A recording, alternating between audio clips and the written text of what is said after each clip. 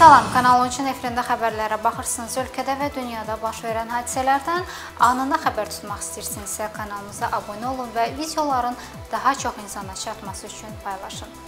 Bu gün Qubadlının erməni silahlı qüvvələri tərəfindən işğal edilməsindən 26 il ötür. Bu 26 il ərzində nələrdən məhrum olmuşuq? Qubadlıda nəyimiz qalıb? Ətraflı sujetdə. Qubadlının ermənilər tərəfindən işğalından 26 il ötdü. Qubadlı rayonu 1930-cu ildə yaradılıb. Ərazisi 802 kvadrat kilometrdir. 94 yaşayış məntəqəsi, o cümlədən bir şəhər və 93 kəndi var. 31 avqust 1993-cü ildə ermənilər tərəfindən işğal edilib. İşğal ərəfəsində əhali 30 minə qədər olub. İşğala qədər Qubadlının iqtisadiyyatının əsasını taxılçılıq, heyvandarlıq, tütüncülük, baramaçılıq və üzümçülük təşkil edib. Qubadlı rayonunda 61 ümumi təhsil məktəbi, 33 orta, 16 8 illik, 12 ibtidai məktəb fəaliyyət göstərib. Ümumilikdə işğal nəticəsində rayonda 6988 yaşayış evi, 1080 kənd təsərrüfatı obyekti, 32 rabitə, 86 səhiyyə, 180 mədəniyyət, 6 sənaye müəssisələri, 650 km avtomobil yolları, 9 körpü, 2 su anbarı, 150 km magistral su xətləri, 4830 km elektrik xətləri, 165 km magistral qaz boru xətti, 146 idarə müəssisə binaları, 18 dəyirman, 4 su nasosu stansiyası, 120 ədəd elektrik yarımstansiyası və transformatorlar dağıdılıb. 13365 hektar meşə sahəsi işğal altında qalıb. Ermənilər damarımıza basmağa davam edir. Bugünkü tarixin bizim üçün nə dərəcədə ağır olduğunu bilə-bilə məhz bu gün mətbuata xəbər yayıblar ki, sentyabrın 2-sində Qarabağ Respublikasının müstəqilliyinin 28-ci ildönümü şərəfinə Qarabağda silah və hərbi texnika sərgisi keçiriləcək. Azərbaycan Xarici İşlər Nazirliyinin bu xəbərə cavabı isə bəli, bax eşitdiyiniz susqunluqdur.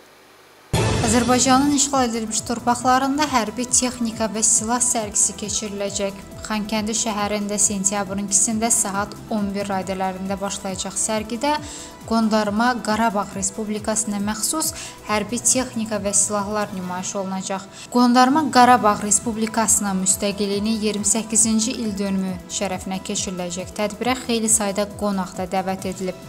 Sərgi zamanı açıq mətbəx də fəaliyyət göstərəcək və qonaqlara hərbi yeməklər təklif olunacaq.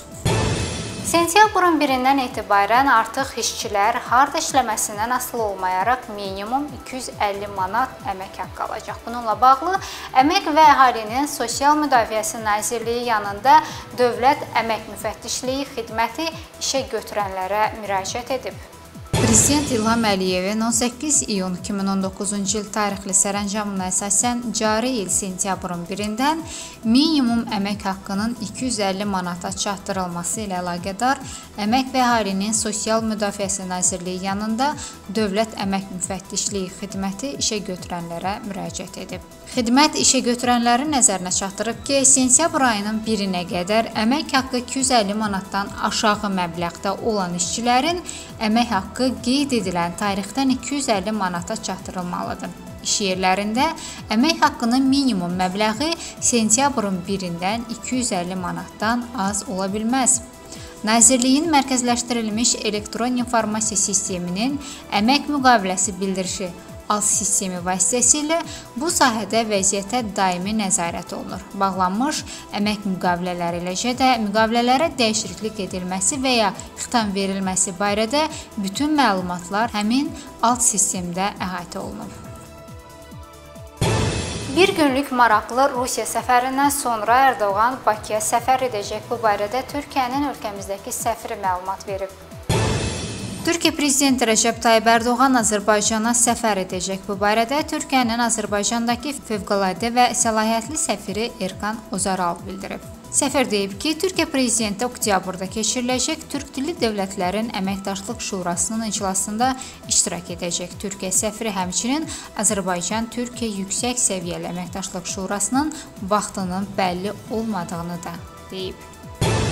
Nəhayət türklərin səbirsizliklə gözlədiyi qərar sabahdan qüvvəyə minəcək. Artıq sentyabrın 1-dən etibarən türk vətəndaşları Azərbaycana vizasız gəlib gedəcəklər. Azərbaycan sabahdan Türkiyə vətəndaşları üçün viza rejimini ləğv edəcək. Məlumat əsasən bununla bağlı qərar sentyabrın 1-dən qüvvəyə minəcək. Qərara əsasən Azərbaycana 30 günədək müddətə səfər etmək istəyən Türkiyə Respublikasının ümumvətəndaş pasportuna malik vətəndaşlar üçün viza tələbi ləğv olunur. Bundan əlavə, Azərbaycan ərazisində 30 gündən artıq qalmaq istəyən Türkiyə Respublikası vətəndaşlarının statusu Azərbaycan Respublikasının müvafiq qanunları ilə tənzimlənir. Türkiyə Respublikası hökumətinin qərarına əsasən bu ölkəyə 30 günədək səfər edən Azərbaycan Respublikası vətəndaşları da viza tələbindən azad edilib. Qeyd edək ki, iyul ayında Azərbaycan Respublikası Xarici İşlər Nazirliyi tərəfindən Türkiyə Respublikasının Xarici İşlər Nazirliyinə viza tələbinin ləğvi ilə bağlı nota ünvanlayıb. Bax belə bu günlük və bu həftəlik bizdən bu qədər. Növbəti həftədə görüşmək ümidi ilə hələlik